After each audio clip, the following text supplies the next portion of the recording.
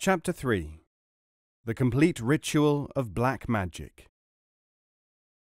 The Pact of the Black Art. The Black Pact.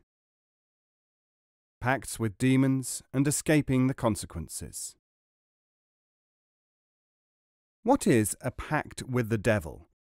Selling one's soul by a formal written act of contract? Or the very fact of communication with powers of darkness?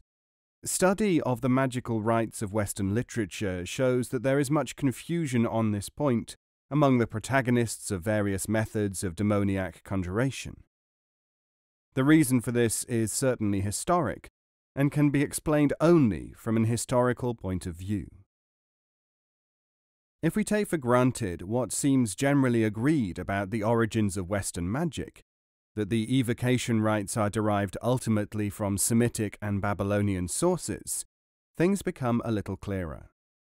We can see, from the materials available to us, that in the far off Eastern Mediterranean days of the rites, demons and other supernatural beings were wooed by a combination of propitiation and arrogance, strange bedfellows but typical of the strange workings of the occultist mind. Spirits, it was felt, were possessed of powers which they could, and under certain circumstances would, transfer temporarily to human beings. They had to be propitiated because their primary function was the doing of evil, and this had to be prevented before they could be put to work. One might find some sort of analogy in, say, electricity. If you want to use electrical power, you must first of all be sure that you are insulated against its lethal power. Then, by means of certain knowledge, you can put it to work. Ignorance of the nature of electricity, or spirits, is not important. What is fundamental, however, is the technique by which spirits can be bound and constrained to act for the operator. The electrician has to know as to what metals conduct the current, what substances are insulators, and so on. The magician likewise believes that he must have his circle or triangle as an insulator, his equipment for attracting the demon, his talisman and words of power for directing their force to further his own ends. Not all rituals agree that a pact is necessary to the employment of spirit aid but that the belief was both widespread and generally credited is substantiated by the fact that most of the important black magical codices require either a formal pact and a sacrifice, or at least some form of contract between the spirit and the operator. When the need arises for the making of a pact, Several mages affirm that the consequences of giving one's pledge may be escaped by cheating the devil in any one of a number of ingenious ways. There are innumerable tales of work and miracles wrought by spirits under promise of reward which they never received. Throughout Europe, in fact, bridges and buildings exist which are pointed out as having been built in this way. On one famous occasion, a celebrated cleric is reported to have asked the devil to erect a bridge in return for the soul of the first creature to pass over it, which turned out to be a cat. Other tales tell of the devil appearing and forcing a pact on some poor farmer, for such pacts are sometimes unilateral in origin. In the first year, the demon asked that everything above the ground should be his, and the farmer planted turnips and presented his visitor with the tops. The following season, of course, Lucifer demanded all that grew below the surface. All he got was the roots of the wheat that the wily man had planted in all his fields. The large number of these stories extant goes a long way towards scotching the idea that his infernal majesty is as diabolically clever as one might think. Even when the devil has been actually conjured, and the magician and his assistants are cowering within the protection of the magical circle, they have but to throw him any small animal, and he accepts it apparently without question. Some measure of exoneration may be pleaded by Satan on the ground that few rites involve conjuration of the potentate himself. Grimoires, such as the Grand Grimoire, indicate that it is with his immediate subordinates, Beelzebub and Astaroth among them, that the actual pact is made. So much for the preliminaries. Now comes the question of the pact itself. Sorcerers were convinced that contact with the powers of darkness could be achieved at any time, providing that the appropriate rites were observed. Certain words, clothes, perfumes, and invocations were considered indispensable. Other experts, for example those of the Church, maintained that any invocation to the devil, such as, I'd sell my soul if, could be followed by acceptance by Satan, and that the mere offer of a soul was enough, in many cases, to ensure its ratification. Many cases are on record of people who claimed that the devil appeared without even being mentioned.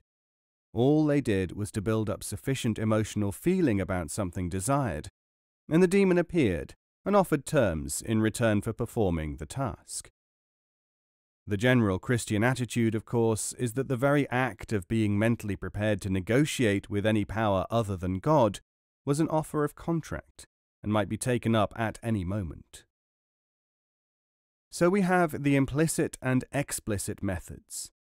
In this book, it is only the latter with which we are directly concerned, the ritual according to its own adepts, which magic had laid down for contact with the supposed powers of evil. What are the motives for associating oneself with Satan?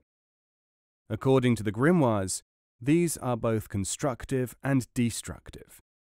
Constructive insofar as they will require something to be done, brought, or taught to the advantage of the operator.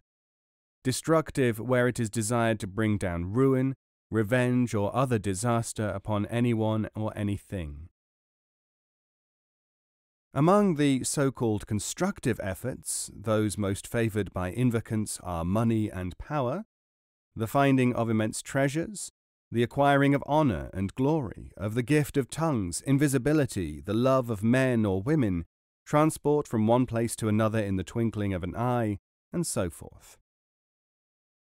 The following is one of the simplest rites given in any grimoire, which figures in the Grand Clavicle, claiming its origin with Solomon the King, son of David.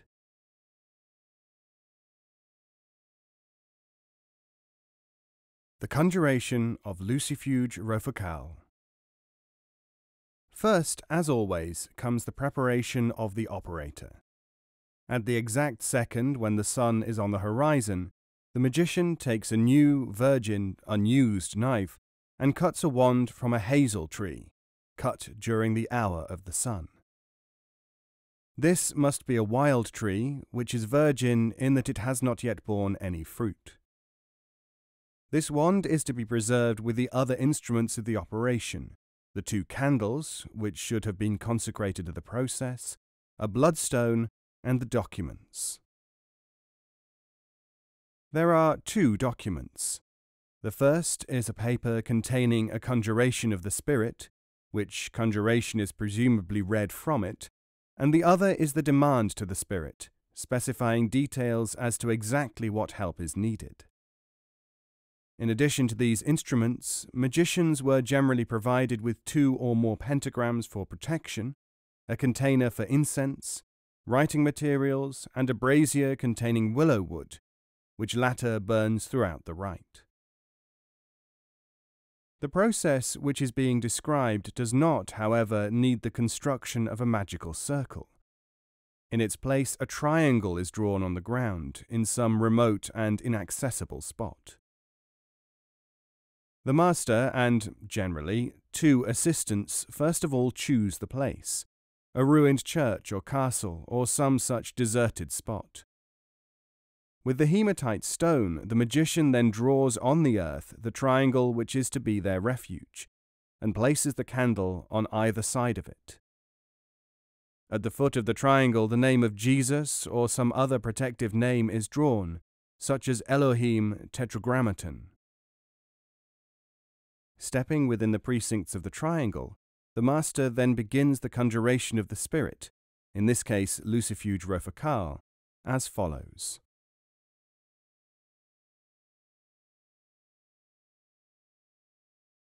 O Emperor Lucifer, chief of all the spirits which rebelled, I beg thee to favour me in this conjuration which I am about to perform to Lucifuge Rofocal, thy minister. O Prince Beelzebuth, I adjure thee to protect me in this work. O Earl Astaroth, favour me, and permit me tonight to obtain the appearance of the great Lucifuge in human shape, and without any evil effluvium. And that he may allow me, in return for the pact which I will sign, the wealth which I am in need of. O great Lucifuge, I beg thee to leave thy home, wherever it may be, and come to this place to speak with me.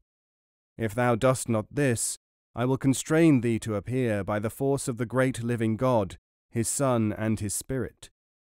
Do my bidding at once, or thou shalt be tormented for ever by the force of the words of power of the great clavicle of Solomon, which he used to compel revolted spirits to obey him and accept his contract.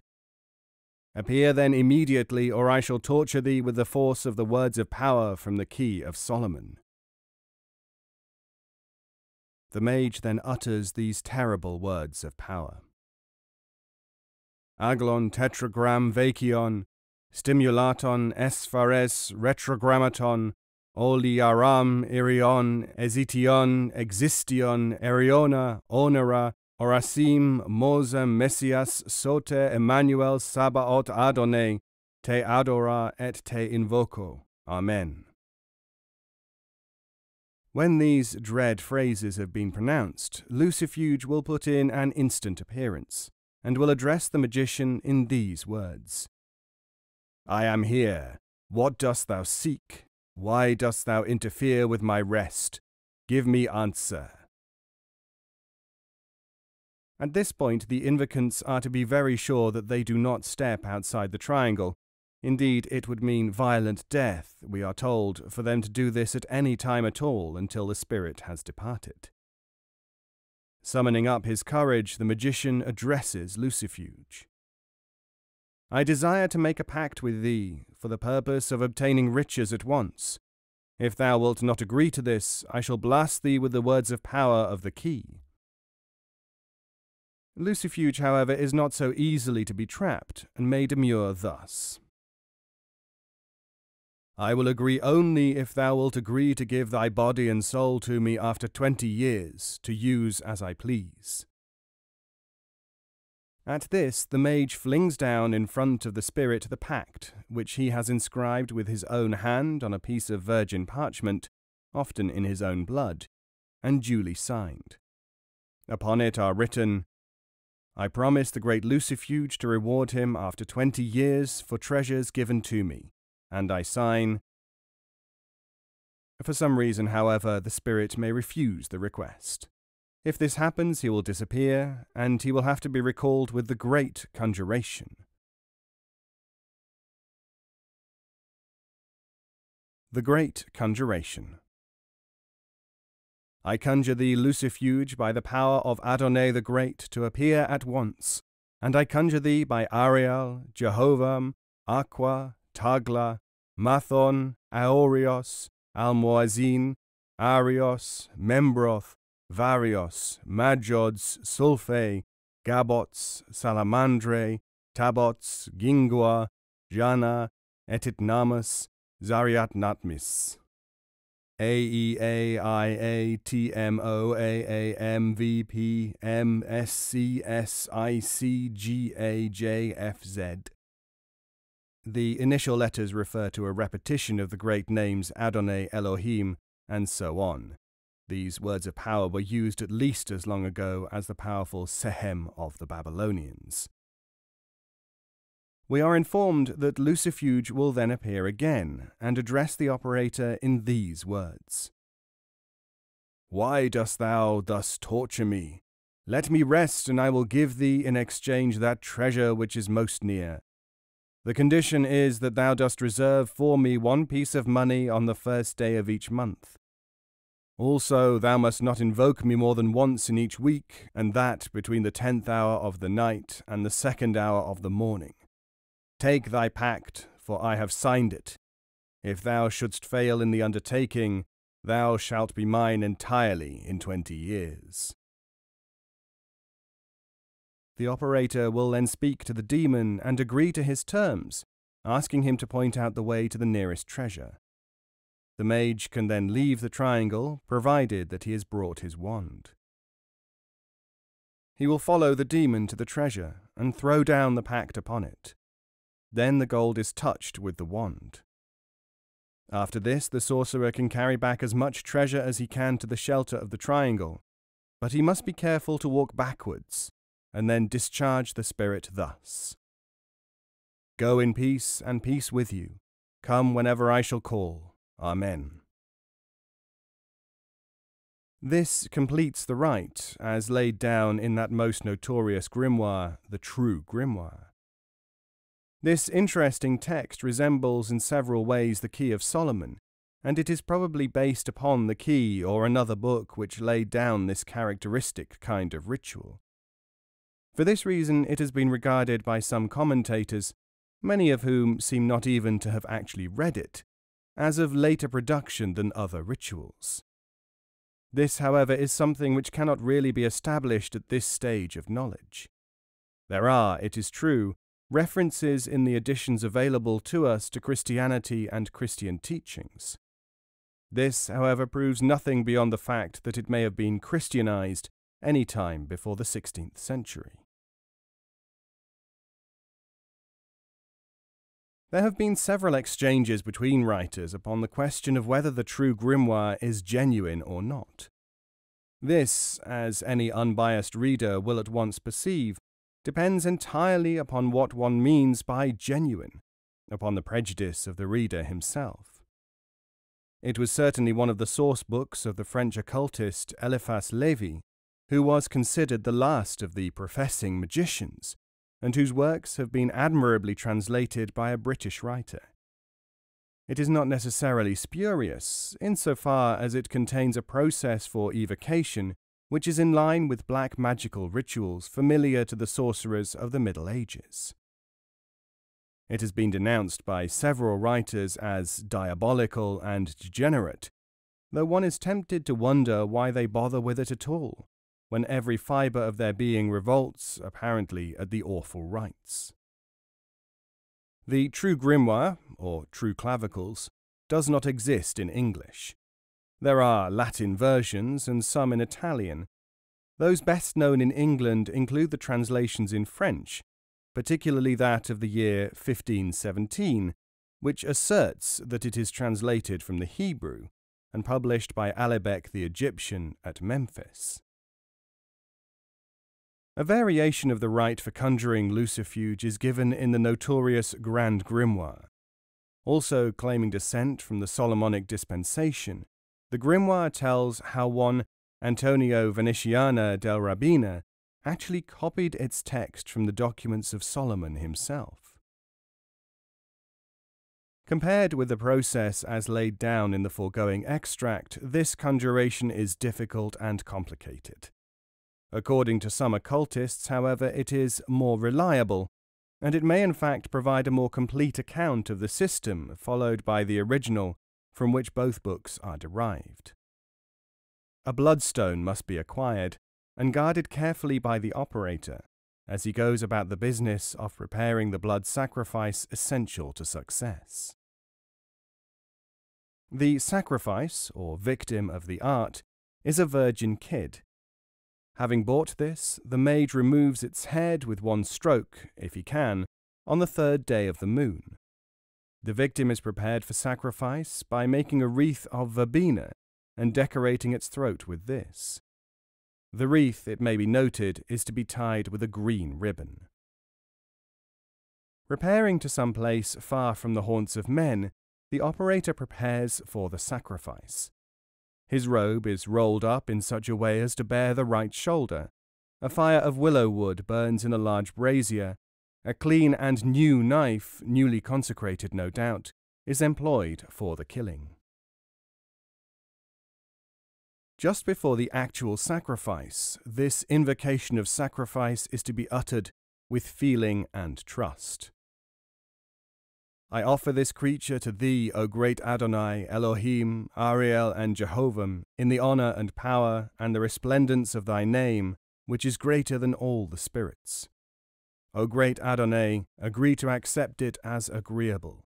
Amen. At this point, the sacrifice is to be offered by cutting the throat of the kid. Now the advantage of the large brazier becomes apparent. The body, after having been skinned, is thrown upon the flames and allowed to burn to cinders. As soon as this is finished, the magician throws handfuls of ashes towards the sunrise and calls upon the deity again.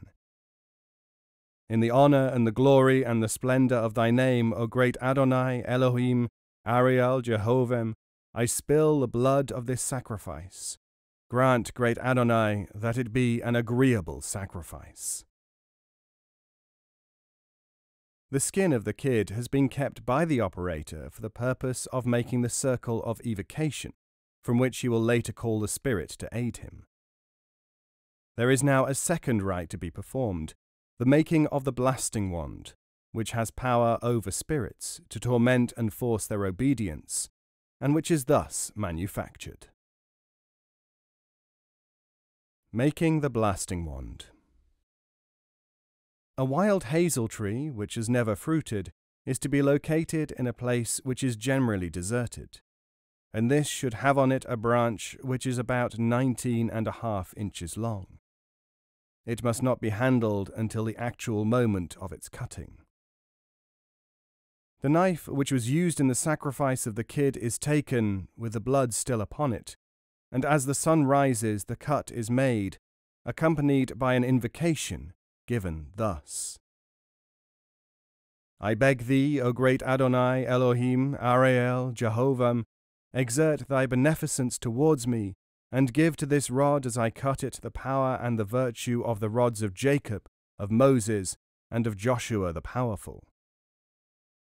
I beg thee, O great Adonai, Elohim, Ariel, Jehovah, to place in this wand the entire strength of Samson, the anger of Emmanuel, and the blasting power of the mighty Zariatnapmik, he who will revenge against sin on the day of judgment. Amen. Now the operator turns his head in the direction of the sun and takes his rod home. The process of the completion of the rod is done in this manner. Apparently, no other person is to be allowed to touch the rod. Therefore, when iron caps are needed for each end, a stratagem is to be employed. The casuist is enjoined to find a piece of other wood, similar in size to that of the branch, and hie forth to a blacksmith. This worthy is to be ordered to take the actual knife of sacrifice, and from the blade to make two caps, to fit over the ends of the dummy rod. When this is completed, the caps are transferred to the ends of the real wand by the magician himself. The instrument is ready to be used when the caps have been magnetized with the help of a lodestone and these words said over it. I conjure thee by the great Adonai, Elohim, Ariel, Jehovah, to attract all that I shall require, through the power of the greatest Adonai, Elohim, Ariel, Jehovah. I order thee, by the irreconcilability of fire and water, to cause all that I wish drawn apart, just as all things were separated on the day of creation. Amen. Some lesser known books and illustrations indicate that such words as tetragrammaton are written along the length of the wand. This grimoire does not mention such an inscription, but I have an illustration in my collection with Agla on one end of the wand, Adonai on the other, and the tetragrammaton in the middle, as aforesaid. Having obtained the skin and the rod, the magician is almost ready to perform the rite itself. As in the former process, he is to have two candles, and they are made by a virgin girl from previously unused wax. Several other items are also needed.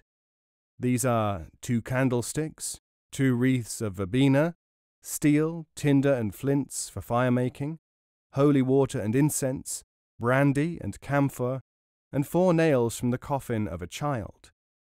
The skin has been cut up into strips, a coin of gold or silver to present to the spirit when he appears, completes the list of accessories carried by the magician. If he is accompanied by two helpers, they are to bear these items and to be at all times strictly under his orders. Making the Circle The grimoire directs that the circle is to be made on the ground by means of strips from the sacrificial kid's skin, and these are fixed with the coffin nails. When this is complete, the hematite stone is taken and used to describe a triangle within the circle, and touching it at all three points. The first point to be touched when making the triangle is that which faces east. It is now that the magician and the assistants, if he is accompanied, enter the triangle and place the candles in their holders and surrounded by the verbena wreaths to the right and left of the triangle and within the circle itself. Upon no account should the important tracing of letters be forgotten, for this ceremony is said to protect the invocants from the approach of demons. On the east, outside the circle, is to be written a capital A, a small a, and a small y.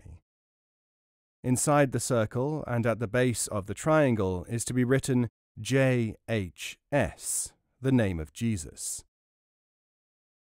Now the candles are lighted and a fire started in a brazier, which should be nurtured with a little brandy and camphor. As soon as the fire and candles are going well, the invocant addresses the deity. This incense of mine, O great Adonai, is the best that I am able to obtain, purified like this charcoal, made from the best wood. These are offerings, O great Adonai, Elohim, Ariel, Jehovah, to thee with my heart and soul. Accept them, O great Adonai, and accept them as a sacrifice. Amen. By this time there may be a number of spirits around the circle. They are likely, it seems, to make a good deal of noise.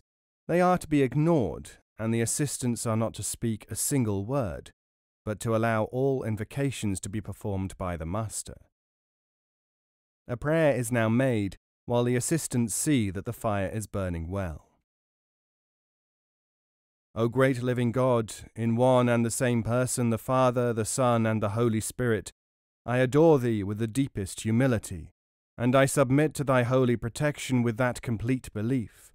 I believe with the most sincere faith that thou art my Maker, my benefactor, my sustainer, and my master, and I have no other desire than that I should belong to thee throughout eternity. Amen. There is a pause here, while the master sees that all is well with the lights and fire, and then he resumes with the supplication. O great and living God, that created man that he should be happy in this life, who has furnished all things for his needs, who has said that all things should be under the will of man, and who will not allow that the rebellious spirit should possess the treasures that have been formed for our needs in this world, grant me, O great God, the power to dispose of them, by the fearful and terrible names of the clavicle, Adonai, Elohim, Jehovah, Tagla. Amen. There are variations in the names given at the end, one version has Adonai, Ariel, Jehovah, Tagla, another Adonai, Elohim, Tagla, Mathon, and Ariel. The operator then takes some of the camphor and casts it into the flames of the brazier, with the words, I offer thee this incense as the purest which I have been able to obtain, O great Adonai, Elohim, Ariel, and Jehovah. Deign to receive it as an acceptable sacrifice, O great Adonai, and be favorable to me in thy power, and make me successful in this great undertaking. Amen. Now that all the preparatory rituals have been accomplished, comes the actual calling of Lucifuge. Emperor Lucifer, prince and master of the rebel spirits, I ask thee to leave thy abode in whichever part of the world it may be, to come and speak with me. I command and order thee in the name of the great living God, the Father, the Son, and the Holy Spirit, to come without making an evil smell, to answer in a loud and intelligible voice, article by article, what I shall ask thee. Failing this, thou shalt be constrained by the power of the great Adonai, Elohim, Ariel, Jehovah, Tagla, Mathon, and by all the other higher spirits, who will compel thee against thy will. Come, come, submiratilor Lucifuge, or thou shalt be eternally tortured by the power of this blasting wand. It is said to be almost certain that the spirit will present himself before the circle with these awful words. Should, however, he neglect to appear, the next conjuration is resorted to. I command and oblige thee, Emperor Lucifer, by the writ of the great living God, by his Son, and by the Holy Spirit, and I vow that in a quarter of an hour I shall smite thee with this frightful blasting wand. Amen. Having given the spirit an ultimatum, the sorcerer waits for the allotted time. During this period, no sound is to be made. The spirit can be tortured in his absence by plunging the wand into the flames of the fire, which should evoke horrible screams. This time, Lucifuge should definitely come and ask why he is being tormented thus. The Karcist then tells the spirit as to the times when he is to appear and what he is to do, according to a timetable which has been drawn up beforehand. After some further threats with the wand, the demon will agree to terms and will indicate the route to the nearest treasure. Certain formalities have to be observed in taking possession of this. The assistants, for instance, must not leave the circle. Only the chief sorcerer may quit the circle's protective area and follow the spirit, taking care to leave the enchanted place at the point where the word Adonai is written. He must carry at all times the wand, which will enable him to discourage the fierce and dangerous dog or other evil thing which is guarding the treasure. The very man who originally buried the hoard will be encountered, and a fight will ensue for its possession. But he will overcome this, and will take one coin from the hoard and exchange one of his own to assert ownership placing the pact, or the conjuration in written form, on the gold, he will retire backwards to the safety of the circle, bearing with him as much of the treasure as he is able to carry. The whole process now comes to an end with two important recitations the discharge of the Spirit and the prayer of thanksgiving to God. The discharge. I am pleased and contented with thee, Prince Lucifer, for the moment. Leave thou in peace now, and go in quiet and without trouble. Do not forget our pact, or I shall blast thee with my wand. Amen. Thanksgiving Prayer O powerful God, creator of all things for the use of man, thanks to thee for granting our desires. Amen.